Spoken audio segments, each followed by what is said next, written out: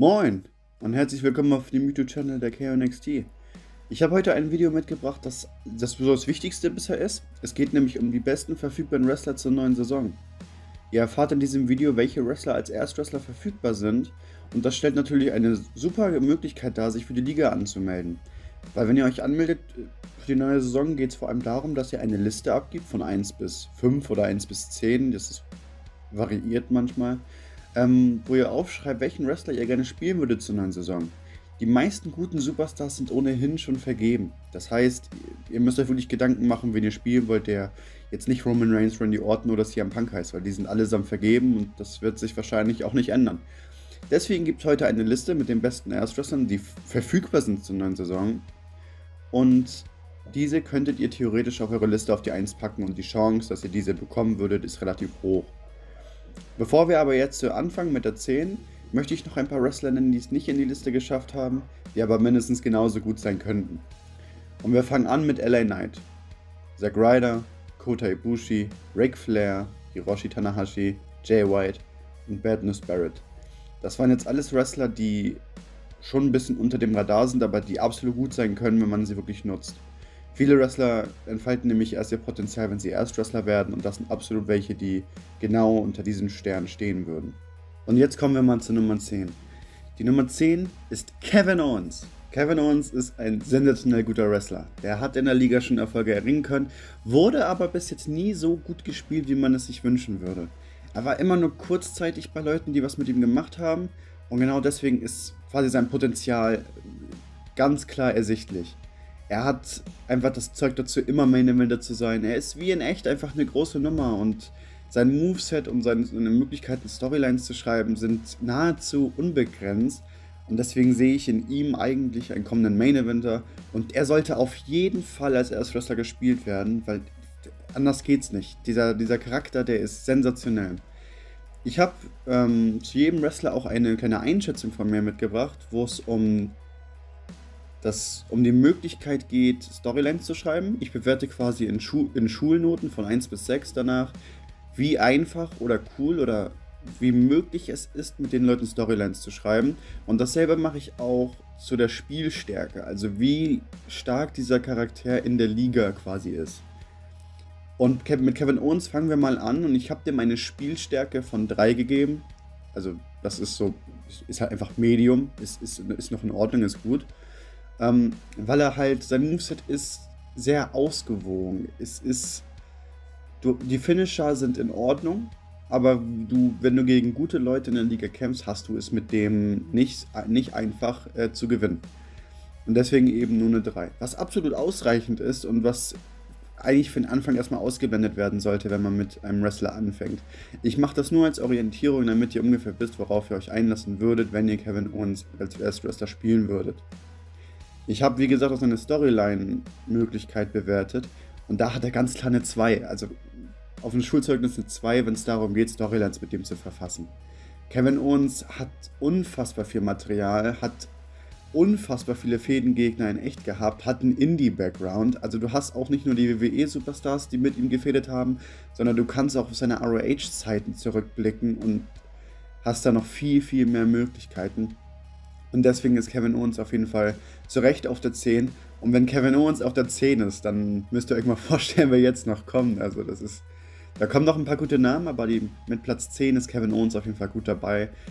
Und wie gesagt, Spielstärke 3 und Storyline-Möglichkeit 2, das ist schon, das ist schon wirklich gut. Also gibt halt wenige, die da mitkommen, vor allem wenn es um CRWs geht, aber er ist ein Ingame, der wirklich außerordentlich gut ist.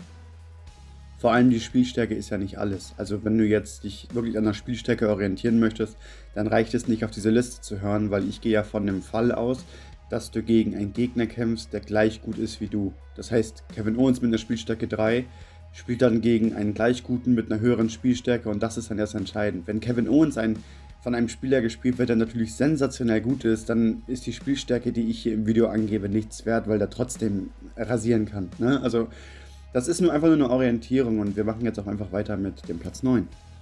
Und die Platz 9 ist von niemand geringerem Besitz als von Shinsuke Nakamura. Nakamura ist natürlich auch wieder ein, ein richtig cooler Charakter, der in der Liga nur zu Anfängen wirklich gut gespielt wurde und mit Storylines gefüttert wurde. Und wenn ich die Chance hätte, als Neuling in die Liga zu kommen, würde ich mich wahrscheinlich auch als erstes an ihm orientieren, weil er einfach cool ist. Shinsuke Nakamura hat so viele verschiedene Gimmicks in der WWE gehabt, dass er einfach, du kannst mit dem sehr viel machen. Du bist da nicht so krass limitiert. Die einzige Limitierung, die du hast, ist, dass er natürlich vor allem als Charakter gespielt wurde, der kein fließendes Englisch kann und eben sehr viel auf Japanisch ähm, spricht. Das ist so ein bisschen die Limitierung, die sich einige Leute gegeben haben, aber du kannst mit ihm auch fließend Englisch sprechen. Also, das ist ja kein Problem. Also in der Liga dann eben Deutsch, ne? das ist jetzt nur als Vergleich. Ich habe ihm eine Spielstärke gegeben von einer 1, weil es gibt so viele verschiedene Varianten von seinem Finisher im Spiel, dass er eigentlich durch die Vielfalt allein schon eine 1 haben müsste, weil er viel ändern kann. Als Info dazu, man kann in der Liga seinen Finisher ändern, man kann den beantragen und wenn er den in echt gezeigt hat, dann ist die Wahrscheinlichkeit auch sehr hoch, dass man den bekommen würde, solange der nicht 20 Jahre her ist. Und deswegen eben Spielstärke 1, sein Moveset ist in Ordnung, seine Special Moves sind außerordentlich gut. Und das, also er ist, glaube ich, so in der Liste jetzt, glaube ich, so der, der, der Wrestler, der mit am besten zu spielen ist. Was seine Storyline-Möglichkeiten angeht, habe ich ja gesagt, dadurch, dass er sich selber die Limitierung manchmal gibt, dass er kein fließendes Englisch kann, also in, unserem Fall dann Deutsch, würde ich ihm nur eine 3 geben. Er ist, das ist immer noch mehr als genug und er hat auch genug Material. Man muss nur Lust auf ihn haben und dann ist diese 3 auch mal ganz schnell eine 1. Aber so als erste Orientierung würde ich eine 3 geben. Und damit können wir ihn eigentlich abschließen, weil ich weiß nicht, jeder kennt ihn, jeder mag ihn. Was gibt es da noch zu, zu sagen? Er ist auf jeden Fall ein Wrestler, der auch sehr gut zu spielen ist und zu Recht auf Platz 9. Der nächste Wrestler, den ich jetzt hier auf Platz 8 habe, ist ein absoluter Goat in der WWE. Es ist The Miz. The Miz ist, was Storylines angeht, glaube ich, somit unangefochten, weil der kann auf ein, ein, ein, ein, der kann auf 15 Jahre Wrestling zurückblicken und hat in der Zeit so viele unterschiedliche Gimmicks gehabt oder Tag Team Partner oder Fädengegner, die ihm einen neuen Charakter verleiht haben, dass er, was Fäden angeht, einfach sensationell ist. Also Fäden und Storylines. Er ist wirklich unangefochten, aber hat es leider nur auf Platz 8 geschafft, weil ich persönlich finde, dass die nächsten noch ein Stückchen cooler sind.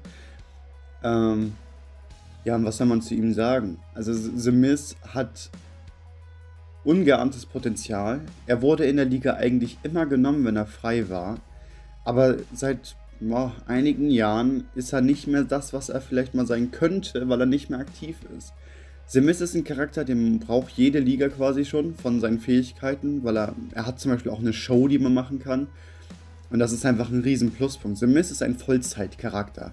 Der hat so viele Möglichkeiten, dass du da ewig viele Stunden reinstecken kannst in die, in die Charakterentwicklung bei ihm. Und deswegen hat er auch eine Storyline-Stärke von mir bei einer 1. Seine Storyline-Stärke mit einer 1, das ist mehr als gerechtfertigt. Und es ist quasi egal, ob du erfahren bist als, als Storyschreiber oder nicht. Simis gibt dir die Möglichkeit, das schnell zu lernen, weil er einfach so vielfältig einsetzbar ist. Was die Spielstärke angeht, da war ich ein bisschen am Hadern, weil ich finde, dass sein Moveset eigentlich echt in Ordnung ist, weil er sehr viele Moves von anderen Leuten adaptiert hat, was cool ist, was sein Moveset nochmal aufwertet. Aber ich bin jetzt bei seiner Spielstärke eher bei einer 2 minus bis zu einer 3. Also eher, eher als Richtung 2, aber zwischen 2 und 3 würde ich ihn einpendeln. So 2 minus mäßig dann. Weil seine Finisher sind in Ordnung, aber wenn du jetzt wirklich gegen Leute antrittst, die wirklich vom Gameplay mäßig gut sind, dann ist The Miz kein einfacher Charakter mehr. Seine Stärken sind ganz klar Storylines, aber das Ingame-mäßige Kämpfen das ist bei ihm fast schon Nebensache. Also er ist immer noch gut genug, um mit ihm viel zu erreichen und du kämpfst ja nicht immer nur gegen Leute, die besser sind.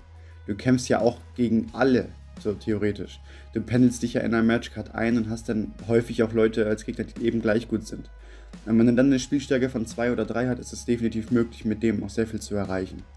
Man muss halt nur ein bisschen frustrationsresistent sein, weil ich glaube, dieser Charakter kann auch mal frustrierend sein, aber wie gesagt, von seinen, er hat ja auch verschiedene Finisher, die er nehmen kann. Es ist ja nicht so, als wäre das Skull Crushing Finale sein einziger Finisher, der spielbar wäre. Und deswegen denke ich schon, dass es richtig Spaß machen kann. Man muss sich halt nur dafür interessieren, diesen Charakter auch lieben. Der nächste, der jetzt kommt, ist tatsächlich gar nicht mehr im Spiel selber drinnen. Aber das ist für die Liga eigentlich vollkommen egal, weil in der Liga kannst du nicht nur Wrestler nehmen, die auch momentan bei der WWE sind oder in dem Fall im Spiel auch sind, sondern du kannst auch bei uns auch CRW spielen, wie zum Beispiel CM Punk oder so. Das sind Leute, die sind schon teilweise auch länger nicht mehr bei der, bei der WWE, aber in der Liga sind sie weiterhin spielbar. Die bekommen von uns ein, ein Rating und du musst das Moveset eben so darstellen, wie er es halt auch damals hatte. Das heißt, du kannst keinen CM Punk ohne den GTS als Finisher spielen. Und unser Platz 7 ist auch jetzt schon, ich glaube, seit etwas mehr als einem Jahr nicht mehr in der WWE. Und das ist Samoa Joe. Samoa Joe ist ein wahnsinnig cooler Charakter, der ein richtiges Badass-Gimmick haben kann und der von seinen Möglichkeiten auch nicht, auch nicht schlecht ist. Er hatte ja große Fäden gegen AJ Styles zum Beispiel oder Brock Lesnar in echt. Und das ist ein cooler Charakter. Das ist auch ein Charakter, wo ich sagen würde, das ist ein sehr guter Charakter, um in der Liga anzufangen. Weil er halt einfach sehr variabel ist und schon mit seinem Spielen, also mit seinem, wenn er wrestelt, schon sehr viel aussagt. Es ist kein Charakter, der an Storylines gebunden ist, weil er mehr der Haut drauf Typ ist. Deswegen ist seine Storyline-Fähigkeit oder seine Storyline-Möglichkeit habe ich mit einer 3 bewertet, weil er kann es, definitiv, er hat genügend Material, auch er kann ja auf einen Indie-Background zurückgreifen. Aber ich würde sagen, dass das ein Charakter ist, der weniger durch seine Storylines besticht. Also was heißt weniger durch eine Storyline besticht? Er ist schon cool und Storylines sind wichtig bei ihm. Aber er ist jetzt, er ist jetzt nicht derjenige, der viel große Reden schwingt, zum Beispiel. Es ist, es ist kein The Mist zum Beispiel, absolut nicht. Er ist mehr so, komm her und kämpf, der, der Typ, wenn ihr versteht, was ich meine. Seine Spielstärke habe ich genauso bewertet wie seine Storyline-Möglichkeit, nämlich auch mit einer 3. Der Muscle Buster und der sein, hier seine Submission, ich habe sein, äh, hier der Kokina Klatsch und der Musclebuster sind halt echt gute Finisher. Also ich finde, die sind in Ordnung. Die sind jetzt nicht so krass und das, deswegen hat er auch nur eine 3 bekommen. Aber das sind auf jeden Fall Finisher, die für den Anfang auf jeden Fall in Ordnung sind.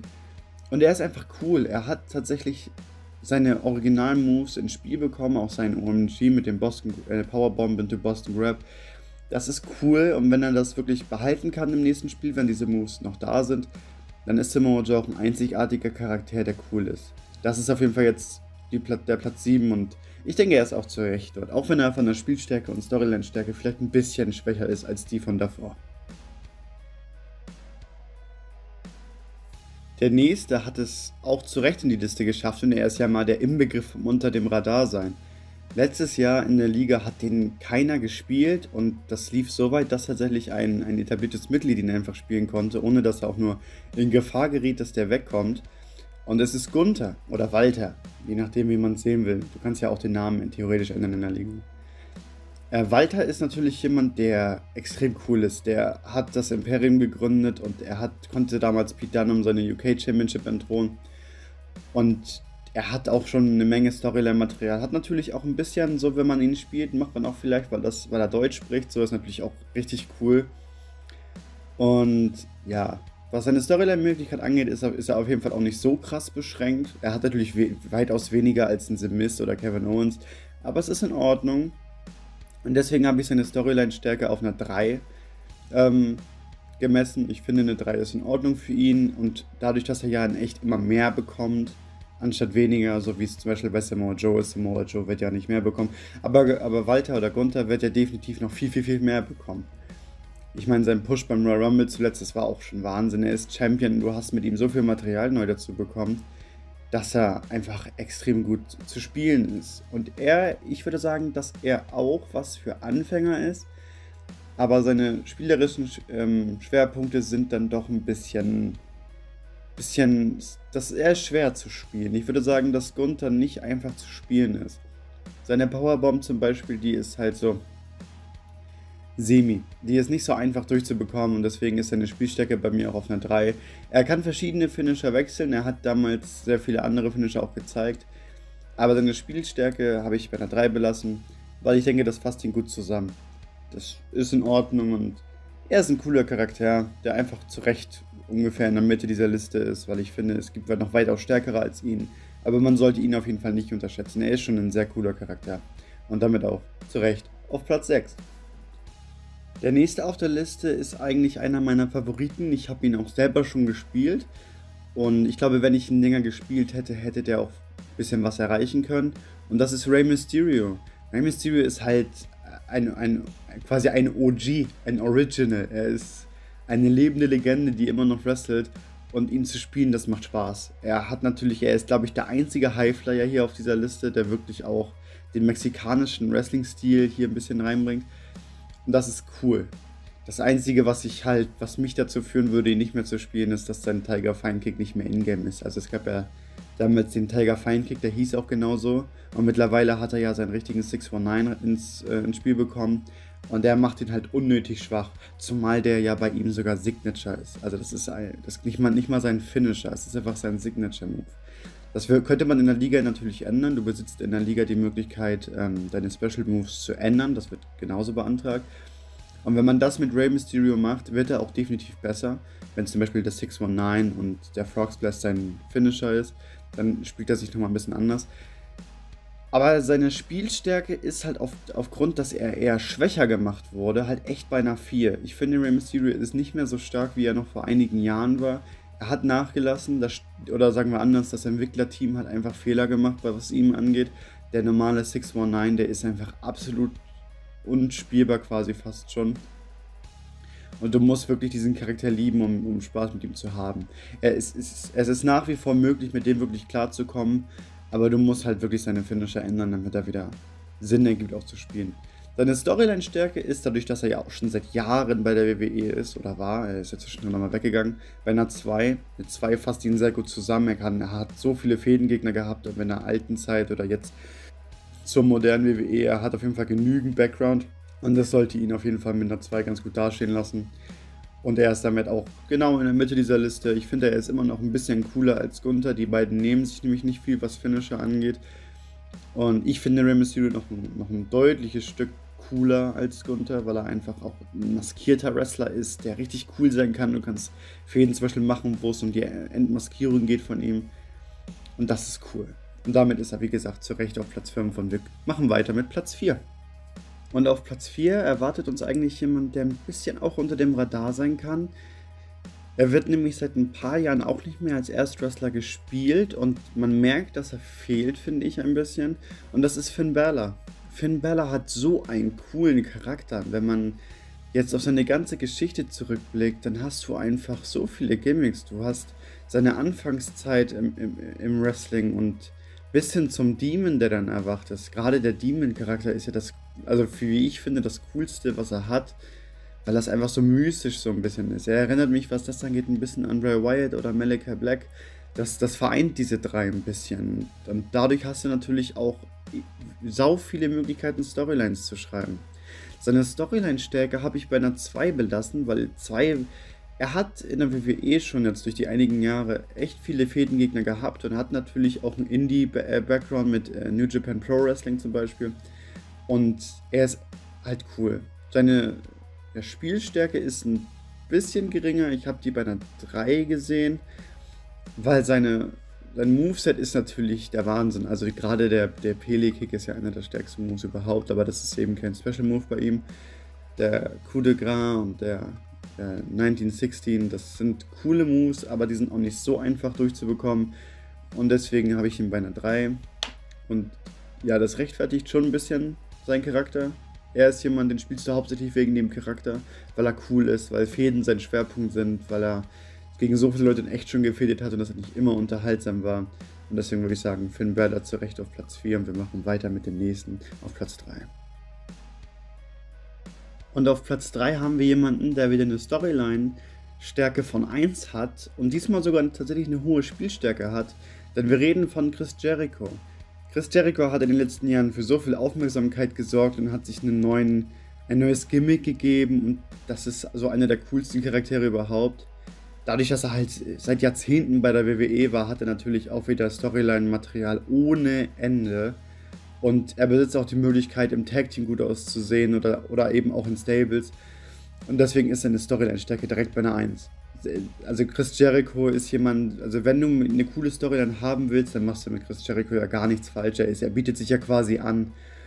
Und deswegen ist seine Storyline-Stärke, wie gesagt, ohne Maß. Und wenn man die Chance Chris Jericho zu spielen, sollte man das tun, weil er ist ein, ein ein All-in-One-Paket. Er kann alles, du kannst alles mit ihm machen, alles fühlt sich mit dem gut an. Und deswegen, wie gesagt, nimmt ihn unbedingt. Also wenn ihr die Chance habt, dann Chris Jericho zu bekommen, dann go for it, dann macht es. Seine Spielstärke ist genau wie seine Storyline-Stärke auch bei einer 1. Allein durch ähm, AEW hat er den Judas-Effekt bekommen und der Judas-Effekt ist ja mal sowas von ein krasser Finisher. Und dazu kommen halt auch noch, wie gesagt, die Worlds of Jericho, der Codebreaker oder ja, also das sind so Finisher, mit dem kannst du wirklich sehr gut arbeiten. Und das macht diesen Charakter halt wirklich auch beliebt. Chris Jericho war schon immer vergeben und ihn zu bekommen ist wirklich ein hohes Privileg, weil es gibt kaum einen Wrestler, der so beliebt ist. Wenn ihr also die Chance bekommen wollt, ihn zu bekommen, dann packt ihn bei euch auf die Eins und habt Spaß mit dem. Äh, ich muss euch aber auch eine kleine Info dazu geben, das gehört nun mal dazu. In der Liga werden die Wrestler nicht einfach in dem Fall vergeben der erste Mal zuerst, sondern bei uns, wir gucken dann darauf, okay, es gibt jetzt bei einem Charakter sieben Bewerber, dann gucken wir drauf, wer von denen würde eigentlich das meiste mit dem Charakter machen. Bei wem gehen wir davon aus?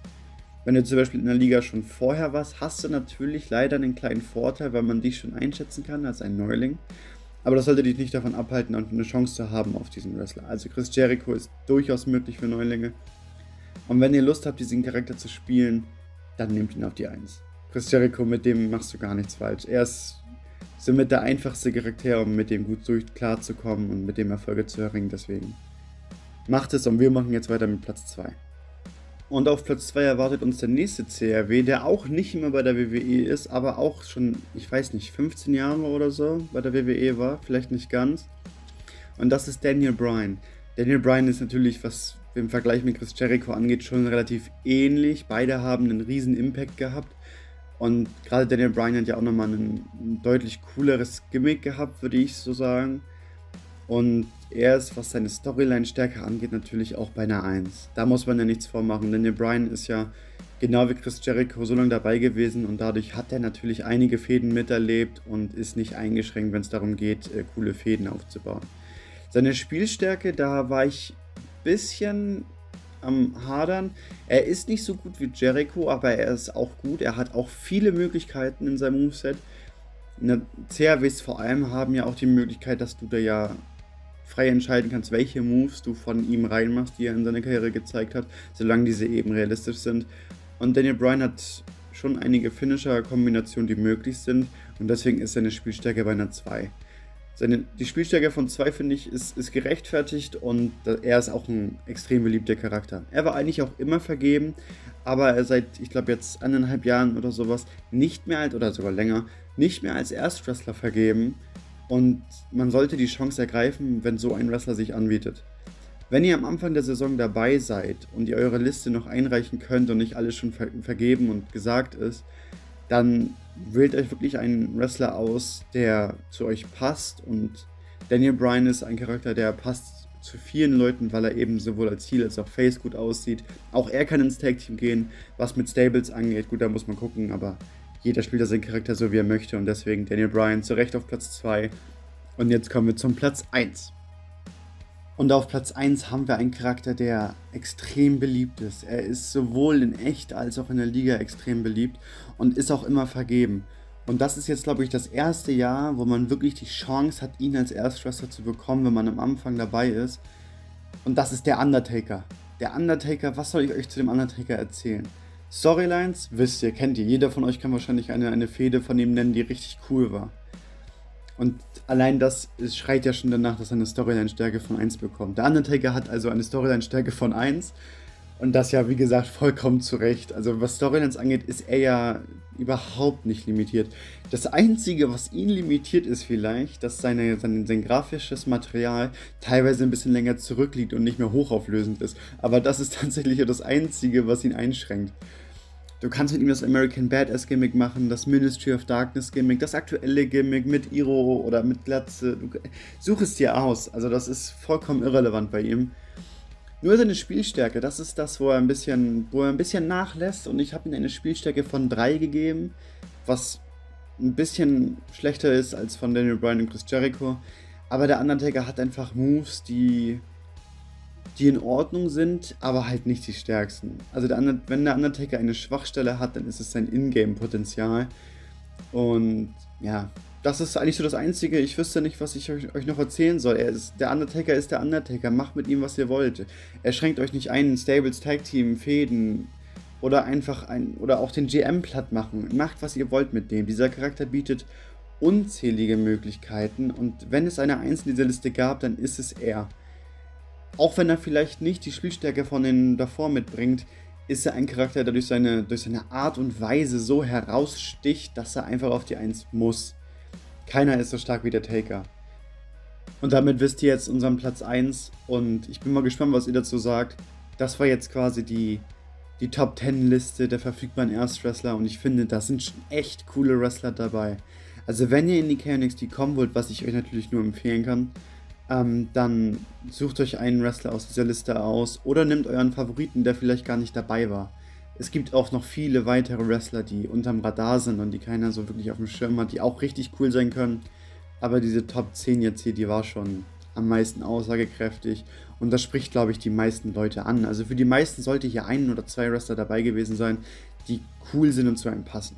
Aber lasst uns wissen, wer hier vielleicht gefehlt hat. Ich meine, das sind wirklich die coolsten. Leute wie CM Punk, wie gesagt, Roman Reigns, Dolph Ziggler, John Morrison, oder Edge oder weiß ich nicht, sucht es euch aus. Malachi Black, das sind auch sehr coole Wrestler, aber die werdet ihr wahrscheinlich nie bekommen können oder vorerst nicht bekommen können, weil diese eben schon seit Jahren möglicherweise vergeben sind und diese werden dem Besitzer erstmal nicht wechseln, es sei denn, die geben den ab. Das heißt, diese Liste hier, das ist schon wirklich so das Beste, was diese Liga noch zu bieten hat.